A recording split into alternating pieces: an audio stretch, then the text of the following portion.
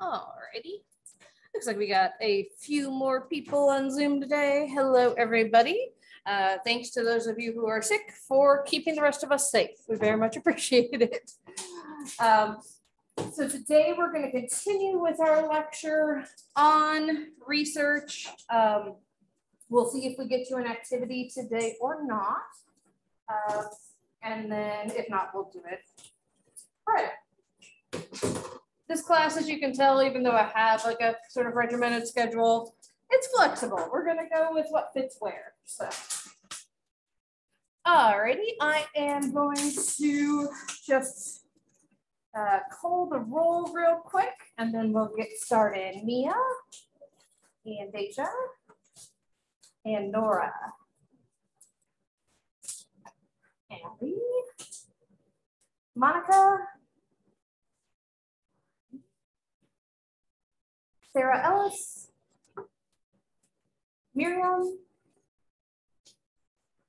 Lauren, Akaya, Lyric, Onyx, Right, Ray, Heaven, okay. No Alex, Sarah Prosser, Antoinette, Jenna,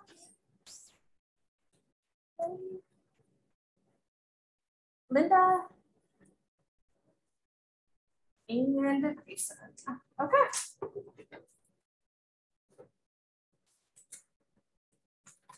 Alrighty. So we were talking about uh, research studies and in particular experiments. Uh, so I'm gonna go ahead and put this in our slideshow and I'm gonna backtrack just a little so we can go over this research study in a lot more detail. Um, I also have a few things that I realized I didn't put on the slides I'm gonna cover, so I'll make sure I like go slowly after we finish the lecture and write stuff up for y'all, all that good stuff. So again, we were talking about experiments and we're going to be manipulating some independent variable and seeing how that affects the dependent variable. So again, we're going back to our hypothesis. People who binge eat be more likely to do so in response to negative moods than in response to neutral moods. All right, so this is how we would do that study. So we would um, have people come in to whatever our laboratory setting is here at VWU. We have a couple different spaces we can use. We actually do have a dedicated research lab over next to Dr. Martorell's office. Um, we also have one of the rooms, interview observation room with a one-way mirror. So we can use that. Um, a lot of times when our students do studies and they don't need specialized equipment, uh, they've just used like one of the study rooms at the library because everybody knows where the library is, right? So, you know, let's say we were doing this here, we'd have them come into our research lab, okay? And so everyone who came in using that random number generator would be randomly assigned to either the experimental group or the control group. When we've recruited people we know binge eat. And so how we do this is sometimes we'll do like a, a pre-screening online as we recruit for the study. Sometimes you just advertise that way, like do you binge eat? Come be part of our study. Um, sometimes we get referrals from like a clinic or something like that at large universities, so where I went to grad school, we would have, I want to say like three or four sections of interest like every semester that were um, 500 people each. yeah, it was like overwhelming. this is much nicer, obviously. And so what we would do is have folks uh, do what's called mass testing. So we would just have a whole bunch of people take a bunch of questionnaires for a bunch of different labs at once. And embedded in that, we would have a question about binge eating. And then we contact the people who endorse binge eating and say, hey, would you like to participate in this other study? And usually there are incentives, whether it's like our class where you get credit for class. Um, sometimes for more intensive studies, there may even be monetary value where they get compensated. So for my dissertation study, people actually received money based on how diligent they were in filling out the diary I had them do. So everybody got at least five bucks, but you got up to 15 if you were really good at it.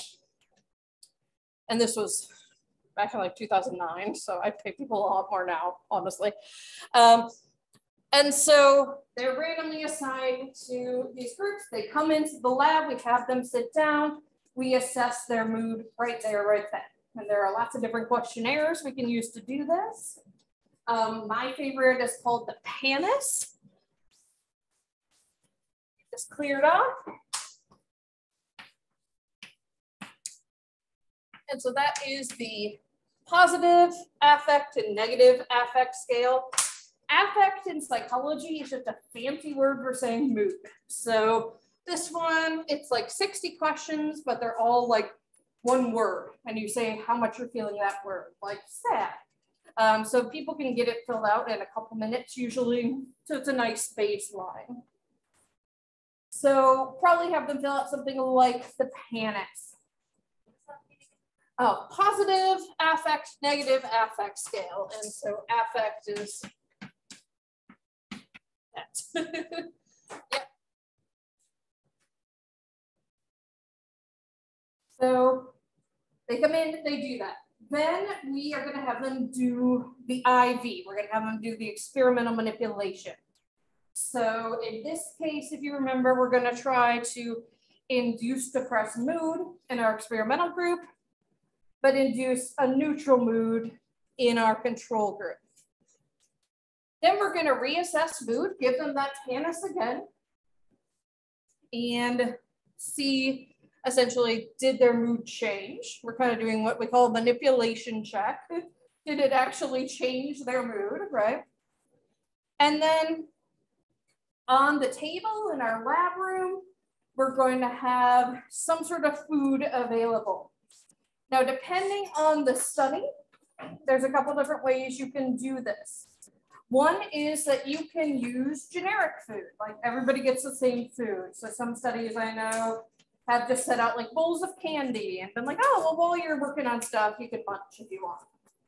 For this study, because we're actively recruiting bingers, uh, we would probably have foods that typically make people want to eat a lot of it, even if you're not a binge eater. Things like donuts, right? Uh, chips. And sometimes in studies like this, what they'll do is actually ask the person coming in, what are your foods that tend to trigger a, binge? And we would have those specific foods available for them. And so how can we manipulate depressed mood? As I mentioned before, we might show a clip, play some music. One of the other ways you can do it is using what are called the Velten mood cards. And these are just like index cards people look through and they have statements. Um, in modern day and age, these would probably be uh, put on a computer screen instead. Uh, but today is neither better nor worse than any other day. However, I feel a little low today. Sometimes I wonder, wonder whether school is all that worthwhile.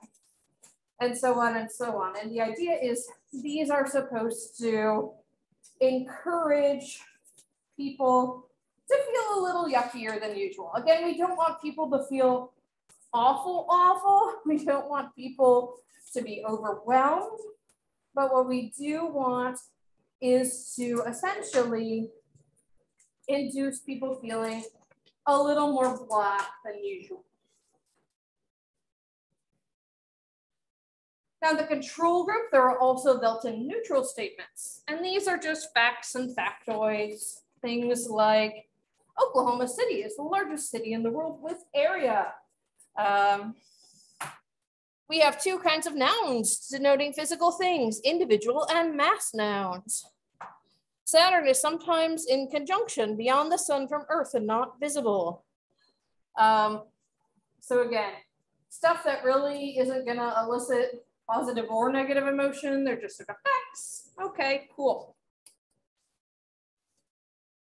So again, that's what they would get during this experiment experimental manipulation phase. That is our manipulation of the independent variable for this particular study. And so after we reassess mood, just to make sure it actually changed their mood, and we see are the people who are feeling more depressed more likely to consume more calories, essentially. And what we typically find with a study like this is, yeah, they are.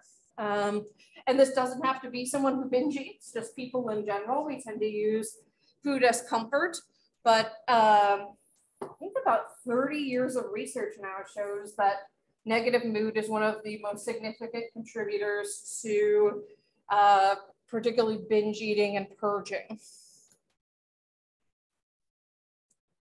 There are also ways that we can take the um, experimental method and extend it. So we don't always have to be, I don't want to say stuck, but like limited to, there's a nice way to put it, being in the lab. Yeah. Since eating is like an eating disorder, wouldn't this experiment be kind of messed up? That's a good question. Yeah. So uh, we're getting to ethics, which is really important to think about when we're thinking about um, research in general, but particularly when we're going to research things that are potentially psychological disorders. Yeah, we would have to have the people give informed consent, where they would say, "Yes, I know that you're going to see how much I'm going to eat." You know, especially if we're doing the one where we're getting in their binge foods, you know, they're going to be well aware of that. Um, and then we're going to make sure that we offer them resources, right? So referrals to therapy if they feel like it's really problematic uh, and things along those lines. But yeah, this is something we always have to be aware of as psychologists is, are we going to do more harm than good by doing these studies? We don't want to, obviously, but it has happened in the past. When we get to social psych, we're going to talk about some really messed up studies people did. Um, if anyone has ever heard of the Stanford prison experiment, really screwed up scenario. Uh, so there have been times in the past where psychologists have not done a good job of this. Yeah. So this is something we have to be aware of, be careful of, and make sure, again, at the end of the study, we would then reinduce positive mood. We give them a full debriefing where we explain what we did and why. We give them referral information for therapy and other sources. And this gets trickier, honestly, as we move to larger scale studies, right? If I'm doing a study where folks like y'all are going to be my participants, it's really easy to just put the referral information for the counseling center on there, right?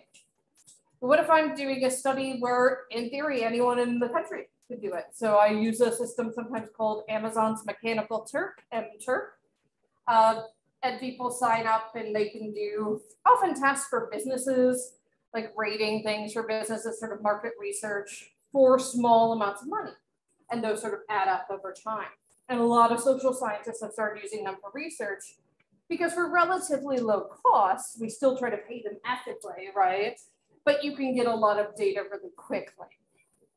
And so when I do those type of studies, it's like, okay, what information do I provide, right? So I might include like the National Suicide Hotline, links to the American Psychological Association's lists of, of members who are therapists. Um, I did a study a few summers ago um, about uh, LGBTQ plus individuals. I didn't include trans individuals just because I feel like their relationship with their body is so unique, they need to be their own study um, but about how you know body image affected them. And I included resources like the Trevor Project, which is uh, an online and phone call accessible hotline for folks who are feeling overwhelmed who are LGBTQ plus. So yeah, this becomes a big part of what our responsibilities are as people who conduct research is what do we do, how do we do it, and how do we keep the participants safe? Essentially. Because as psychologists, we want to benefit society, right? We want we don't want to be harming people. Yeah, excellent, excellent question. All right, and some of the ways we can make sure we're being ethical is by doing things like quasi experiments instead of experiments. So quasi experiments is where you want to compare two groups, but you can't randomly assign people to them. So can anyone think of an example of groups we want to compare where we can't randomly assign folks?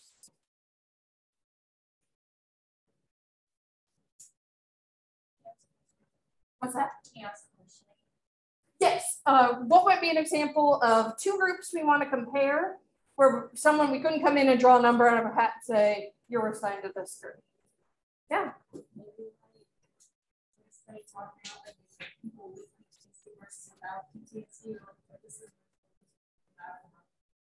Exactly. Yeah. So like if we did our study with binge eaters and we wanted to compare them to non-binge eaters, we couldn't like randomly assign and be like, now you're a binge eater, right? Uh, nor would we want to do anything psychologically to make them binge eaters. Yeah, and exactly something like PTSD, we don't want to cause someone to experience a trauma.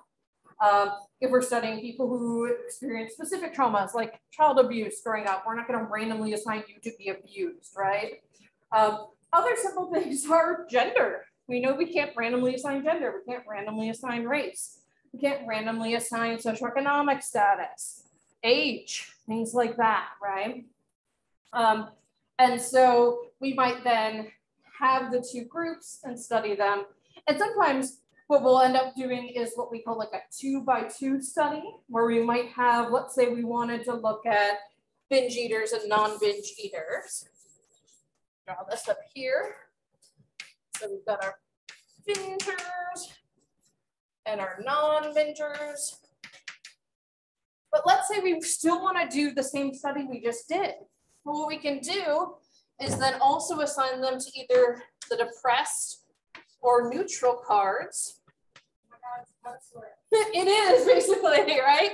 Um, and so then you would have people in each square and we have analyses we can do to compare whether you know, being exposed to the depressive words made non-bingers eat more than non-bingers who were exposed to the neutral world, but then also see if the binge eaters who were exposed to the depressed words ate more than the non-bingers who were also exposed to the depressed words. So we can get really complicated. and in fact, uh, because a lot of these sort of like I don't want to say simple, this isn't simple, right?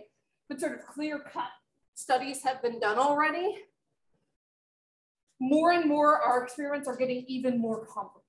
So I'm in the midst of coding for what we call a meta-analysis. So a meta-analysis is where we take existing published studies and each study becomes essentially a participant in a big study. So you take and you code data from the existing study, and that becomes one line in your data set, just like an actual person who was a binge eater would be one line in our data set. And so what we found is that, so I should back up and explain what I'm studying. So I'm looking at the relationship between social comparison. So comparing your appearance to those around you, it's a natural tendency, we all do it, right? And body dissatisfaction. And the way that we often induce this in studies is we show people pictures of like purposely attractive people, right? So people who meet the thin ideal, people who are facially beautiful, things along those lines.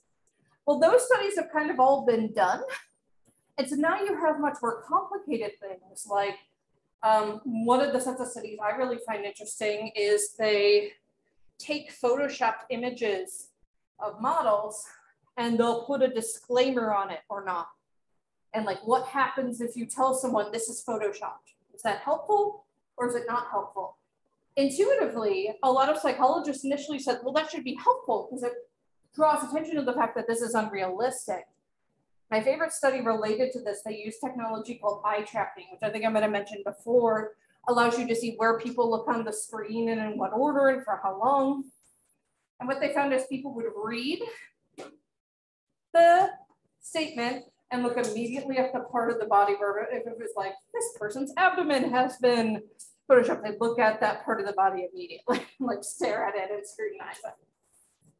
So, you know, stuff gets really complicated now, but this is sort of the basic idea within psychology is that, okay, there's some stuff we can't randomly assign. That doesn't mean we can't ethically study it. We just do these quasi experiments and try to have what we call matched controls, right? So if we're looking at survivors of child abuse, for example, we're not going to have a bunch of 12 year olds and compare them to adults who haven't been abused, right? We're going to find 12 year olds who haven't been abused, things along those lines. Trying to match generally on race, age, uh, gender, things like that. So again, this allows us to be more ethical as we approach these things. Natural experiments also allow for that. So natural experiments occur when nature itself or a larger man-made phenomenon manipulates the independent variable. So the picture here is from September 11th, 2001, right? Uh, we would never want to randomly assign a city to get a terrorist attack, right? But what we can do in the wake of that is study how to help people and apply that moving forward. So there were a whole host of studies after terrorist attacks. There have also been studies after hurricanes, things along those lines. Um, so after September 11th, there was a lot of interest, a lot of clinical concern uh, to examine the effects experiencing these attacks had on those who had loved ones who were victims or who directly witnessed attacks, like this young woman. So they examined things like predictors of developing PTSD. Really interestingly, one of the studies that I thought was because they looked geographically, and it's probably not surprising, but it's just like I think the first time someone had actually looked at it in this way, it was like the closer you were to Manhattan in terms of where you lived, the more likely you were to get PTSD. But even nationwide, there was an uptick in PTSD because so many of us watched it over and over on the news. Like y'all were probably too young to watch it, but like I remember I was sitting, you know, it's the beginning of the school year, so you get the crud, we called it, basically whatever cold always went around and knocked you out. So I'm sitting in the health center and like the new, watching it on the news, and they just kept showing the towers falling over and over and over. It's just yeah, it was horrifying, right? Um, and it didn't feel real, right? It felt like watching an action movie until you processed it. Um, this is kind of a random question, but it has to be kind of. Do you Sure. that the news ethically should not have played that would have had an effect on how many? I mean, yes, but I'm also not a journalist, so I need to fully acknowledge that. Although I was an amateur journalist in high school and college, I worked for our papers. Um, but yeah, I think that's something that the news needs to take into consideration. I think the clearest example of this is in the deaths by police aggression in particular of people of color. Replaying those over and over and over is unnecessary and extra traumatic to individuals of color. Uh, and there are studies showing that, right? Yeah, yeah. I mean, yeah, if psychologists could help with the news, I think we would. There are ways you can show things, talk about things without showing the actual traumatic event itself. I also think that other media probably has an obligation to look into that. Like I hadn't watched Avengers Age of Ultron in years, but then after I watched WandaVision, I was like, I should rewatch that because I don't really remember what happened in that one. And there's an instance in that movie where the Hulk runs into a building and it falls just like the towers on September 11th. And like for me, 20 plus years later, it still like triggered a lot of anxiety and stress. Um, so I don't know that we need to replicate that for entertainment, right? And yet people do that all the time if we think about and I'm guilty of this. I love true crime documentaries, right? like my favorite are about cults. So one of our assignments we're going to do later in the semester is like how not to join a cult. Um, and because it's all social science, it's all social psychology, basically. Um, but yeah, you know, that like we often exploit these things and where are the ethics in that, right? We need to be aware of that.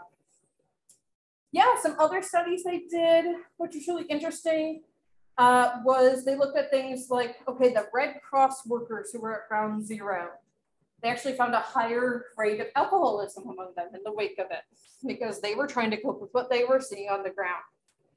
And again, although we never want to like take advantage of those folks, the stuff we learn in the wake of September 11th, particularly like what helps people on the ground right away, helped with later disasters. So when there was the tsunami and the nuclear meltdown in Japan, um, I actually have a friend from grad school who was, know, he's not in the military, so he wasn't deployed, but he went over there to apply some of those techniques essentially right away. So we call this like psychological first aid, basically. So again, it's hard to be like, oh, a tragedy happened. We can benefit from that. Like we never want to think of it that way, but sort of like, what can we learn that we can then like apply to help people in the future? Or ideally, I'm sure there were social psychologists who were studying like, how do we prevent stuff like this, right?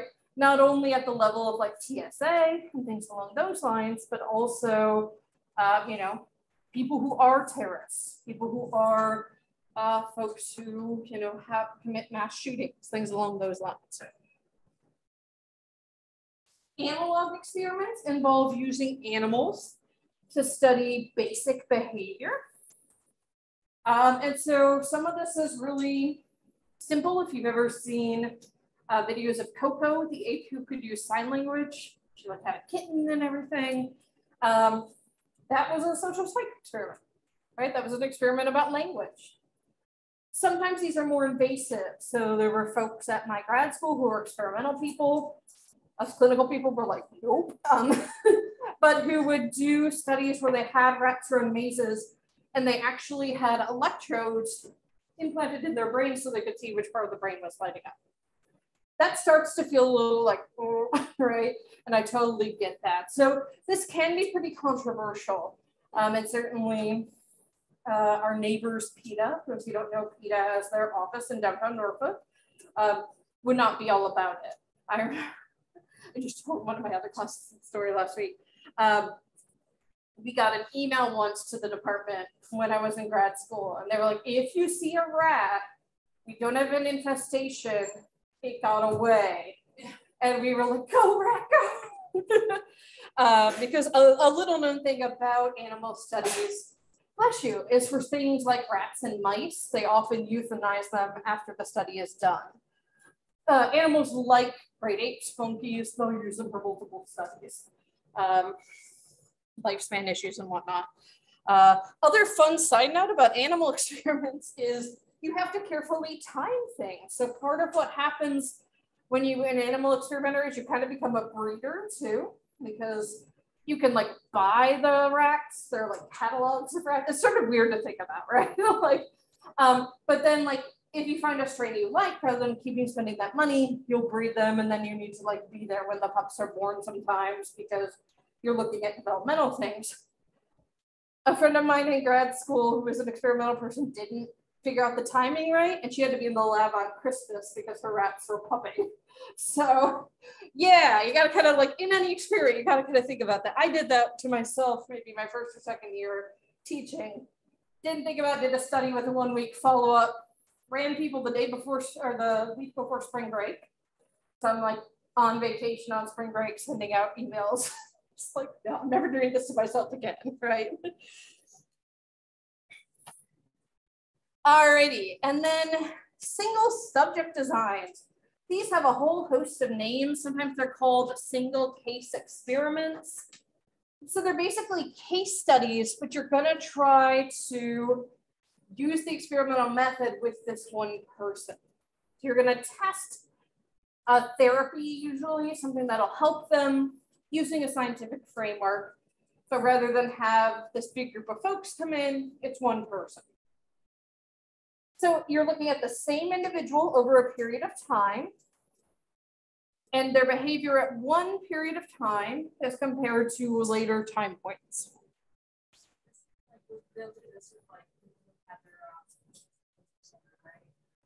People said what, sorry? Yeah, yeah, yeah. Oh, yeah, very cool. Yeah, okay, so yeah, so if people don't know what that is, um, the corpus callosum is the connection that runs between the two hemispheres of our brain. And some people who have severe epilepsy, in order to try to localize the seizures to one side of the brain, they'll actually cut the corpus callosum surgically. Um, this leads to a whole host of really interesting things where people like Like Can't- can draw a square with one hand and a circle with the other hand perfectly. fine. Exactly, and like, they don't necessarily like recognize things on one side, but then if they pick it up, they can. Um, because it also has to do with like how we see, how we perceive. Uh, yeah, it's really interesting, and they'll think they can't see stuff that they can. So yeah, someone like that, you might do a single case study to help them figure out what's gonna work for them. Oftentimes, exactly what we just said, like Abby just said, these are super rare things, right? We're not going around just chopping corpus callosum left and right, right? Like no, these are very severe circumstances. Um, so this might be, you know, someone with a really rare psychological disorder or a really rare neurological disorder. Um, and so the most common design here is what's called the ABAB. And those labels just refer to the different parts of the experiment. I mean, we could have called it like time one, time two, time one, time two. Um, and so A is just the baseline. Before you do anything, you want to measure your DV, see how that person's doing before you intervene. B is when you introduce your independent variable. So then you want to see, is their behavior changing after we implement this therapeutic technique? If it is, that's great. But we're also working with one person, and we know that people's lives, as we talked about with case studies, are really complex, right? So there could be other stuff going on in their life that led to that change in behavior too. So then what we do is we take away, our second A is we take away that treatment, the IV, and we see, do they return to baseline? What happens with their behavior? And then we reintroduce that technique, that therapy, whatever we think is going to help our independent variable. And if it works, we just keep it going, right? We've now found something that helps this person. And this makes a lot more sense when you have an example. So I'm going to give you this example of Chris. This is something I found in a book. This is not a case I personally knew. Um, but she was a 19 year old who was severely uh, developmentally delayed. So she was probably operating on like a elementary school level, right? Um, and she also had a disorder called trichotillomania, not something you need to know how to spell, but this is a fancy name for people who, when they're stressed out, will actually pull their hair out. Okay? And they don't even realize they're doing it. Just sort of like do it like some people chew their nails or some things like that. Um, and this can get pretty severe. So in Chris's case, she actually had bald spots. Um, I had a student once with trichotillomania. She was really open about it. She did presentations about it. And she would pluck her eyebrow hairs. And so like one day she came in with like half her eyebrow gone. And I was like, what is going on? I have friends who like have like no eyelashes. They'll like pull out all their eyelashes. Yeah, yeah. It like it really depends on the person where they pull. So some people will even do like arm hair or leg hair. And sometimes it hurts when like they eat it too. Yeah, yeah, yeah, yeah. And then it then it uh that's sort of like a combination with a disorder called pica, where you eat a non-food, non-nutritive substance. I love that for DSM-5 they had to add in non-food because there are so many non-nutritive substances that we create now, like Diet Coke, technically non-nutritive, right? But it's a food. um, but yeah, so people with pica might eat their own hair, or they sometimes eat things like mud. A lot of my strange addiction with like eating glass or laundry detergent is essentially just pica. But as you can imagine, it's really problematic for your digestive tract. And the same thing for people who eat the hair from trichotillomania, they can form what we call bezoars, and it can like stop up your system. It's kind of like a hairball in cats, but like we don't have the ability to spit it up like a cat does. So as you can imagine, it lead to blockages and things like that. With pica, you could also have them eat things that are dangerous. So I saw grand rounds on pica while I was on my residency, and um, there was someone who was eating like, I remember it was actually silverware or plasticware. Regardless, there are sharp edges, right? You can like tear part of your intestine for things like that too. Um, my favorite though, again, we never want to like make fun of someone, but this person was able to make fun of themselves, so we can kind of go along with it. But the psychiatrist was talking about a case she was seeing where the young woman would read books and then she'd eat them. Her favorite were the Twilight books for whatever reason. So I don't know if they were extra delicious or what. Uh, but again, like some of these substances are potentially pretty dangerous, right? Yeah, so in Chris's case, she wasn't eating it, but she still got cold spots. I'm like, maybe it doesn't seem that problematic, but anytime we're we're manipulating our bodies in ways they shouldn't be, and we're not adequately caring for them, right? We risk the infection, things like that. If she's pulling out, there's you know some sort of blood. If she pulls too hard, right? Things along those lines. Uh, it's the same reason why if you get a piercing or a tattoo, they leave you with a giant list of how to care for it, right? And sometimes they hand you an antiseptic because they want to make sure that you're taking care of it. And obviously someone who is developmentally delayed might not be able to do that. And so they decided, let's try to see what can help her. And so Chris actually has a much longer baseline than usual. And I don't have the full information about her, but just my researcher's guess is that they were trying a whole bunch of other stuff to see if there was anything that would help her, right? And there were a couple times where it was helping, but then the hair pulling came back. So this graph is the percentage of time she spent manipulating, pulling her hair out. And they would measure this by video recording her while she watched TV, because that's when she was most likely to do it. And so they were racking their brains. How can we help her? Uh, usual treatments for trichotillomania require some pretty high level thinking. Like a lot of therapies are written sort of at the college level, basically. And like for trichotillomania, it's a lot about analyzing why you're doing it, recognizing when you're doing it and why, things along those lines. And something like that's just not going to work for someone with a developmental delay like Chris. So they kind of came up with like this ingenious little way to do it, which is they took those wrist weights that look kind of like wristbands and they put them on her wrists, two and a half pounds, nothing that's going to hurt her, but just enough for her to notice when she moved her arm. So when they put those on, her hair manipulation went down to zero because anytime she went to move her arm to manipulate her hair, she realized it and she didn't do it. That sounds awesome. Great, we fixed it. But again, if you want to really make sure, we have to remember another time where she didn't do it and it seemed like maybe it was fixed and it wasn't. And so then they took the weights off. And what you see here, it went back up to essentially where it was at baseline. Put the weights back on, boom, right? And so the hope would be she doesn't have to wear weights every time she watches TV for the rest of her life, but that eventually this makes her aware enough that she doesn't need to. But if she does, again, it's something fairly non-invasive, pretty easy to do. Exactly. Yeah, and a lot of this is based on behavioral principles. The idea of like reinforcement. You know, we try not to punish, uh, but maybe not rewarding makes a longer time. Definitely.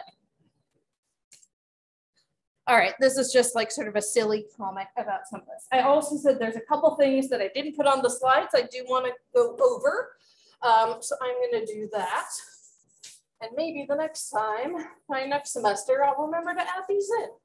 Uh, but one of the things I want to talk about is samples. So samples are the people we do our research on. And they are a part of the population. The population would be everyone available in the group, right? So let's say I do a study, and I've done this before, where I send an email to the student listserv, and I say, hey, anybody can click this link and take this survey. Well, not everybody's going to do that, right? There's like 1,600 students at Wesleyan maybe 100, 200 will click the link, right? So that ends up being my sample. Samples can be purposeful. It's like when we talked about our binge eaters, right? There we carefully selected our sample of people who had a specific trait, right? And again, sometimes that trait is not as difficult. Um, so I tried professors get something every seven years or so called a sabbatical, where we get a semester to just work on our research. You have to apply and have a proposal. Um, but on my sabbatical, what I tried to do was replicate some research I'd done with women with men. It was really hard. There's a couple different reasons. One is if you look around the room, this is pretty similar to our usual composition in psychology classes, There's not as many guys take it. And then just in general, not as many guys participate in studies. And there are ideas from social psych about how like women are more trained to be helpers and things like that, right? But like even just sampling from the men more challenging than sampling from the women. So interesting things to think about. Sometimes they'll also choose random samples. This happens a little less often now, but for example, back in the day, even before my time, they would actually like take the phone book and like have every seventh person in the phone book they would contact. And again, not all those people are going to answer, but you're trying to get some randomness. Um, a random sample means that each member of the population has an equal chance of being selected. And we do still use these for some things, not just necessarily research. So for example, um, each year they give a teaching award uh, to a professor and it's actually decided upon by a committee of students, which I think is really cool. Um, and those students are randomly selected. I remember uh, I have a colleague who's since moved to a different school, uh, but her husband had actually decided to go back and get a degree in environmental science. That's what he was really interested in. And uh, so he was a student here while she was a professor here. And they asked him to be on the committee. but he was, he was like, I can't because my wife is nominated. And they were like, what? Well, because they had different last. Um, so yeah, you know, sometimes you end up with interesting things when you do random things. Um, research setting. Um, I mentioned that you can do research in a lab. And our labs in psych are typically not what you think of when you think of like doing a lab course here, although certainly, yeah, go ahead. What's the, so what would the difference be between the sample and the population? Good question. So the sample is who's actually in your study, the people who actually come and take part in your study. The population would be all the people who in theory could be part of your study. So again, if I send out an email to everyone at WU, the population would be all 1,600 students. My sample would be the people who actually clicked on my link. Very good question. Thanks for the clarification. Yeah, and that research can take you know, place in a whole bunch of different settings. So a lot of our labs in psychology aren't going to look like chem or bio labs. Um, so they might just be a place with like chairs for people to come in, or a lot of times there are computer monitors, computer um, consoles, because they're going to have people do specific research in those settings. Um, however, there are some psychology labs that are essentially bio labs. There's a neuropsychology, biopsychology side of psychology, where people might actually be studying the brain or people that do experiments, those comparative experiments with animals, right? They are going to keep a clean setting. But a lot of times it's just going to be a space where someone can come in and you can work together on whatever the study is. There are a lot of advantages to this, right? You get to control the setting, you get to like set it up the way that works for you. Um, our lab space, I've had students come up with really creative things. So I had a student, I don't know how many years ago now, but a while ago, um, who wanted to do a study about how women felt trying on different pairs of jeans. And so she turned part of it into like a dressing room and had them like rate their mood as they tried on the different pairs. Very cool, right? Um, but a lot of times it's just sort of tables and chairs. You're controlling the setting, you're making it distraction free. But there can be some drawbacks. As soon as you walk in a lab, you know you're being studied, right? So you might act a little differently than you would naturally. Uh, it can feel really unnatural. Again, we often go out of our way not to make it feel super unnatural, right? Um, and the people who actually volunteer to do the studies, the people who end up being our samples, go to the lab, probably not totally representative of the population, particularly if we're doing a study in person. It's really hard to get people to come in in person. It takes more time out of your day than an online study, right? And so it's often like the most dedicated students, or depending on the time of semester, the students who really need that course or extra credit, right? So they're gonna go either way. Um, and some aspects of the mind and behavior can be difficult to examine in the lab. Sometimes what we do to kind of counteract that is study people in a naturalistic setting.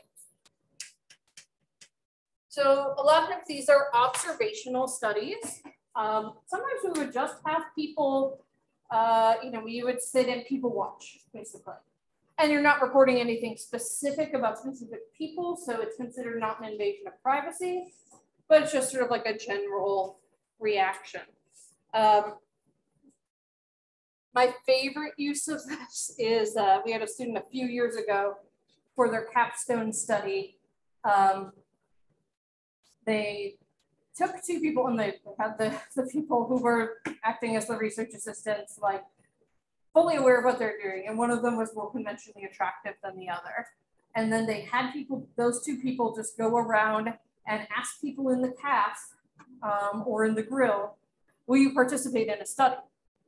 And then the whole thing was, will more people agree to sign up if the person's more attractive? And then that's what they found, you know, not surprisingly, but it's just kind of a really cool study where like they didn't have to get people to sign informed consent, things like that, uh, but they got a lot of really cool information. We also have ways to do this now in a way that's more controlled. And so sometimes you'll see these called diary studies or ecological momentary assessment, which is abbreviated EMA. Um, so in this case, you're gonna, we used to give them paper diaries. Some people still might do this, but now typically it's like an app on your phone. Um, I did an EMA study for my dissertation. It was just when like the iPhone was starting to come out. So not a lot of people had them. We gave people Palm Pilots to carry around. Really technologically advanced. Um, but what happens is people will get a uh, reminder throughout the day, a notification that tells them to fill out the diary. And in the moment, they respond to questions. Sometimes these will also include like, if you do a certain behavior or if a certain event happens. So like one of my friends was really interested in how people felt right after they exercise. So she had, you know, the random ones throughout the day, but then she also had, after you exercise, sit down and do these questions real quick. These are meant to take two minutes to fill out. They're not very onerous, but you get a lot more cool information about like what's happening to that person in the day. And then you can kind of look at how things change with different events that they experience. Um, I'm going to skip the statistics stuff. Uh, but I am going to talk just a little bit more about ethics in the couple minutes we have left here. Um, so we have been talking about ethics and there are lots of things we can do as psychologists to try to do experiments more ethically. One is one that I've already mentioned, which is informed consent. So with naturalistic studies, you don't need to do this, but any other type of study, pretty much you do. So this is a paper you read over that says this is what you're going to do. Here's the risk, here's the benefits, and you have to sign it. Often online, it's like click a box that says, yeah, I agree to this. But it tells you what's going to happen so you're not going in blind. So then we also have, at the end of the study, the debriefing this is what I mentioned where you like tell people what you were doing and why, and give them information about resources that might be helpful if this didn't bring up anything for them. Oftentimes this is a paper we hand out to people for in person, or it's like the last page of the survey if we are doing a survey online. And uh, the biggest thing that you want to maintain while you're doing research as a psychologist is confidentiality. So your obligation as a researcher is to make sure that people's data doesn't get out, right? So you are not going to go be like, oh, so-and-so just came in and did my study and guess what they said, right? Um, a lot of times now, particularly if we're doing studies online, we go one step further and we make it totally anonymous. You never have to put in your name or any information like that. Uh, and people seem to feel more comfortable opening up and answering questions honestly that way. Alrighty, so we will do an activity about research on Friday, and then we'll start diving on into motivation. You too.